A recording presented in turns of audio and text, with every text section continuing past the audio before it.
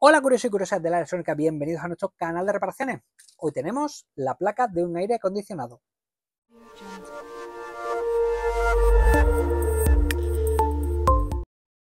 Bueno, este aire en concreto es de un aire acondicionado centralizado. Típica máquina que tenemos en el cuarto de baño, en el techo, y a través de unos conductos de aire podemos recibir el aire fresquito en las habitaciones. Hay una rejilla donde hace el control de apertura y cierre. ¿Qué pasa? Que los sensores de termostato que tenemos en cada habitación no están recibiendo tensión de alimentación. Vamos a coger y vamos a ver qué está ocurriendo y cómo solucionarlo.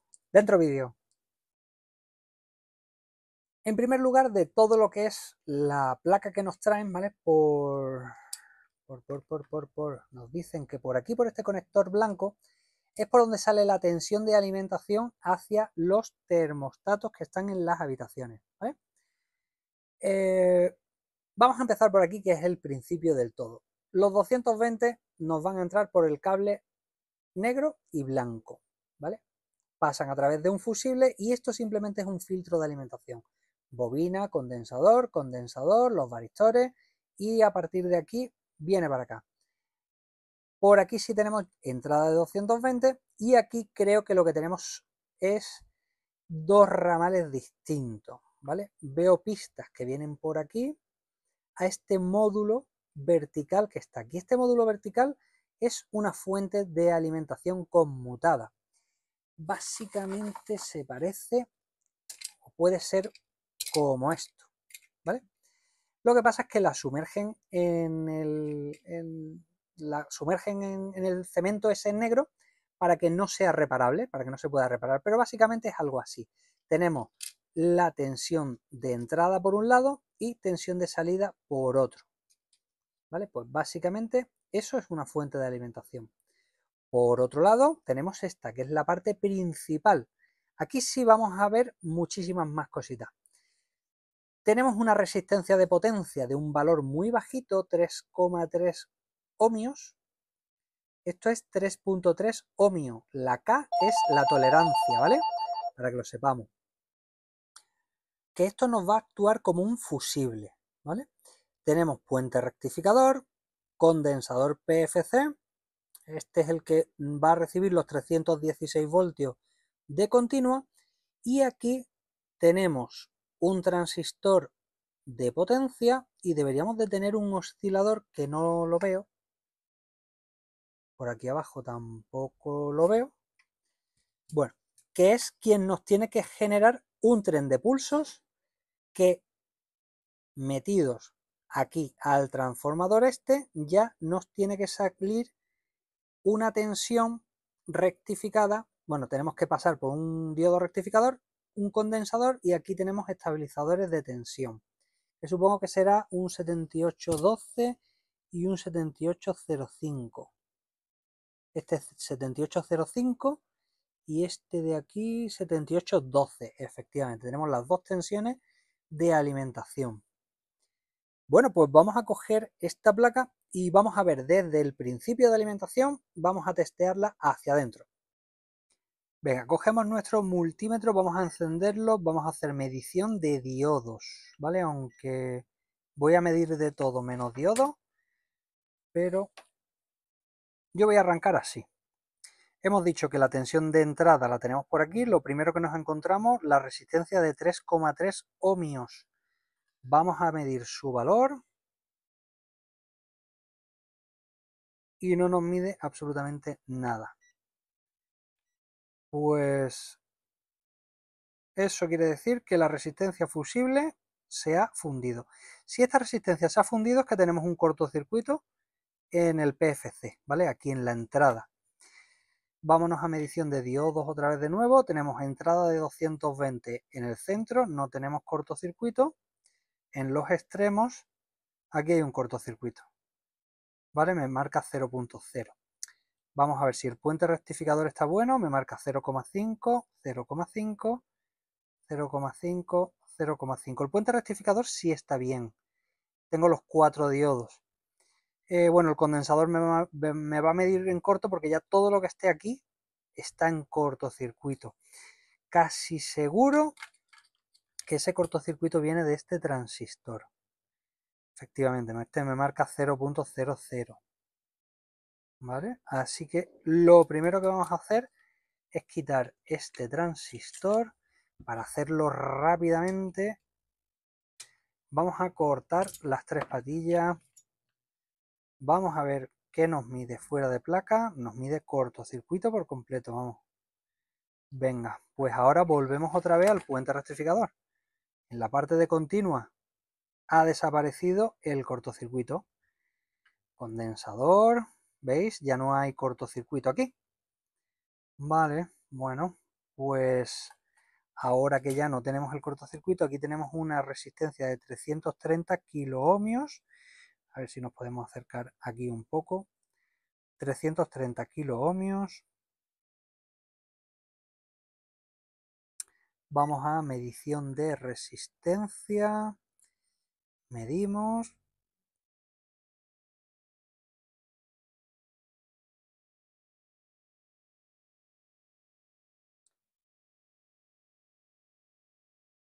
Y esta resistencia tampoco me mide tampoco me mide nada, me mide megas. O sea, esta es capaz de que también se haya quemado.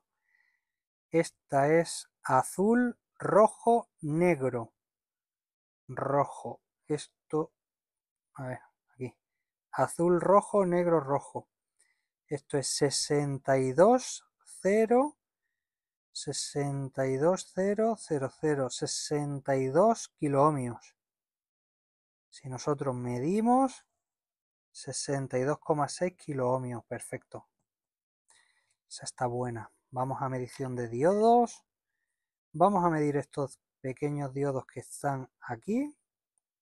0.5, 0.5.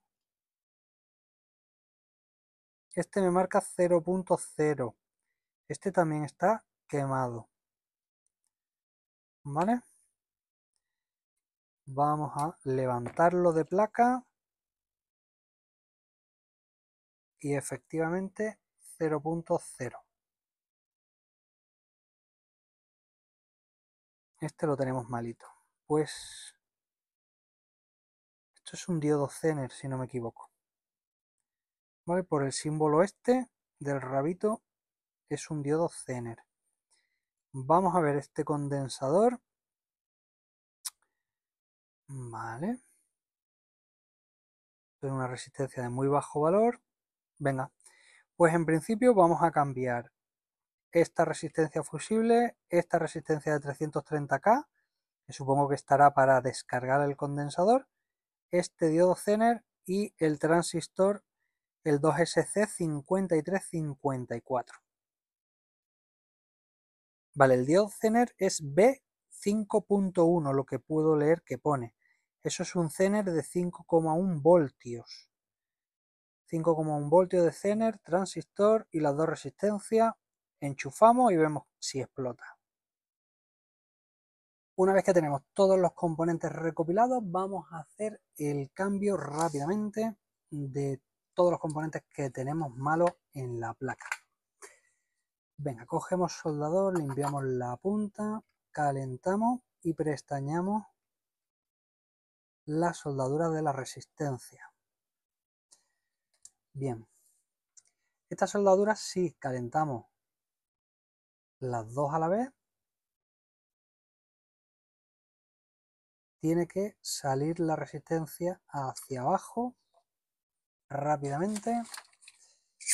Y ahora sí con el desoldador limpiamos. Extraemos un lado y el otro.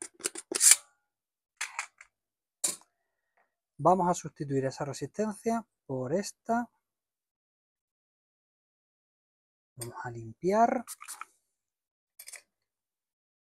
la placa.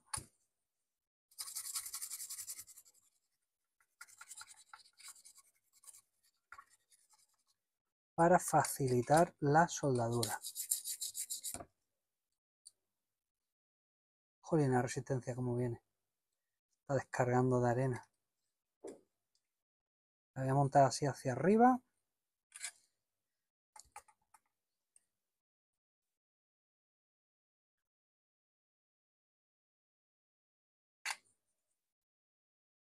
Soldamos una de las patillas. Y ahora como nos va a hacer falta un trozo de pin, vamos a utilizar la misma patilla sobrante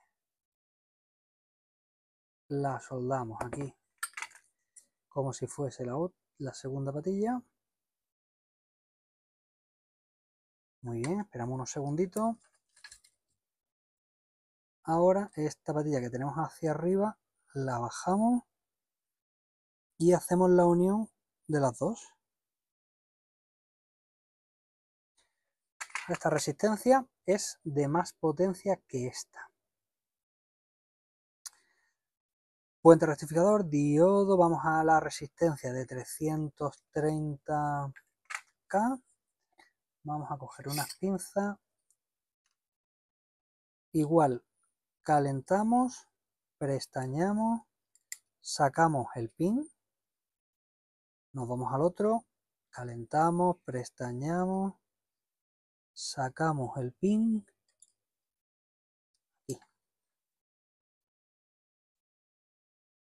Perfecto. Limpiamos los pines de soldadura de la resistencia. Uno, el desoldador ya se está quedando atascado. Hay que hacerle una limpieza interna. 330K. Bien, pues esta resistencia la ponemos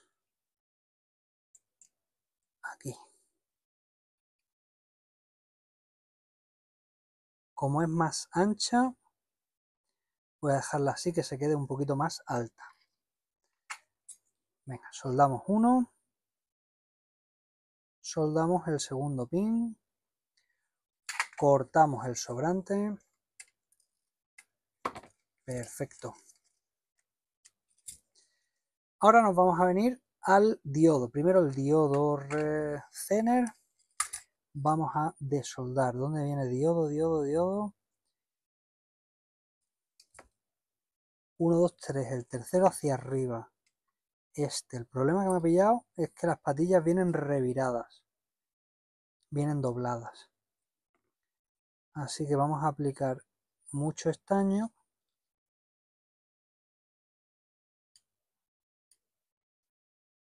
Vale, no me ha dejado cogerla para adelante, así que dejamos que cuele para abajo y ahora cogemos el pin desde abajo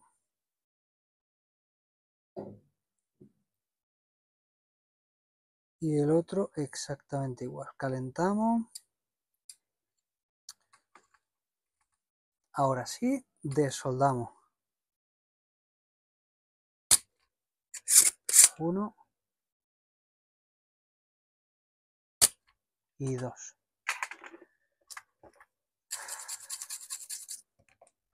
Limpiamos.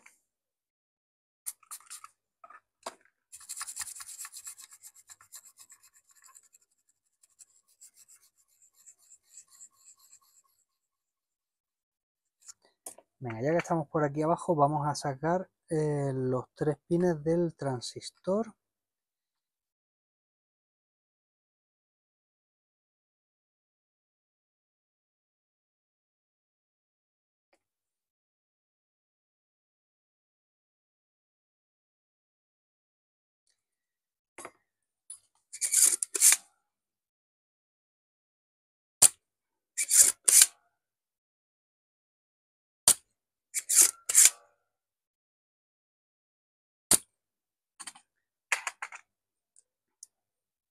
Empezamos primero con el diodo Zener.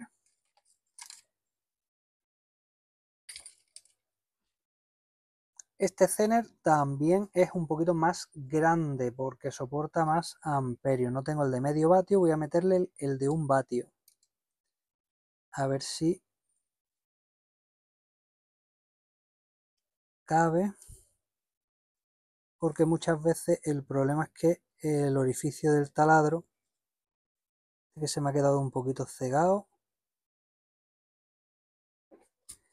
Se ha quedado cegado de estaño, creo. Ah, no, está la patilla aquí a medio salir. Este no ha salido la patilla. Ahí.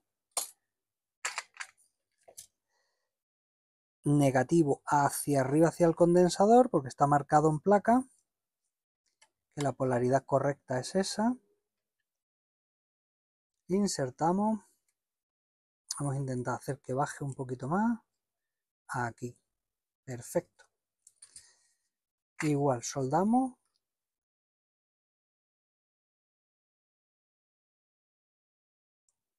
Cortamos las patillas. Transistor. No tengo el 2SC5354. ¿Vale? Este no me queda ninguno en, en stock. ¿Qué voy a hacer? Lo voy a sustituir por un BU426. Soporta los mismos voltios y un poquito de más amperios. Así que tiene mismo patillaje, base, colector, emisor. Insertamos las patillas tal cual. Metemos, o soldamos, mejor dicho, una, dos, y 3, ¿vale? A partir de aquí, creo que lo tenemos todo montado. Acomodamos cada componente ahí en su sitio. Vamos a hacer una prueba de funcionamiento. Para la prueba de funcionamiento voy a quitar la parte de filtrado, ¿vale? Que no la voy a, utilizar. Voy a coger eh, un cable que tengo aquí arriba de 220 preparado con dos cocodrilos. A ver que le he perdido el rastro. Aquí. Tenemos que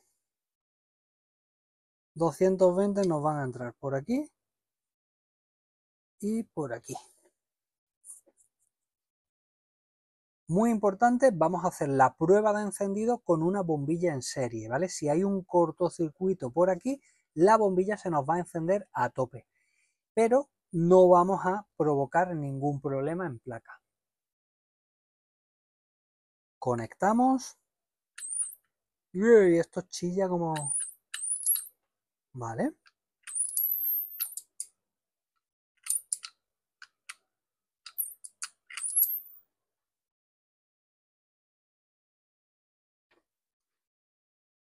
Pues en principio están dando.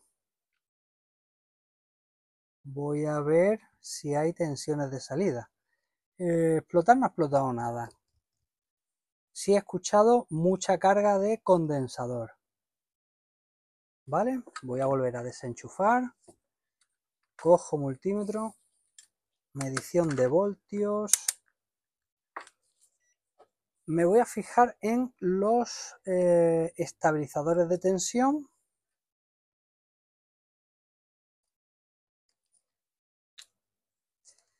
A ver, esto no sé.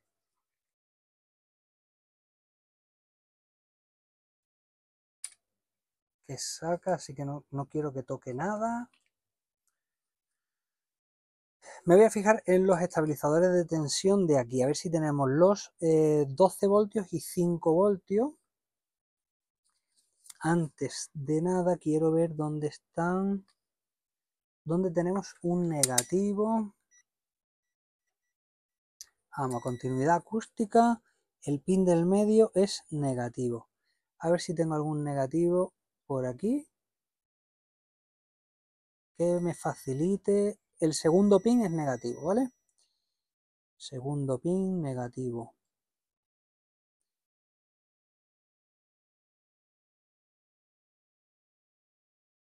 Vale, me quedo con que segundo pin es negativo. Por aquí van a salir 5 voltios.